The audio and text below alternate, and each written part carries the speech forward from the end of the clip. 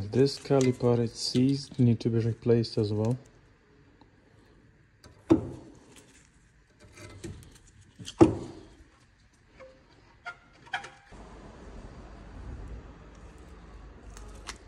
Caliper seized.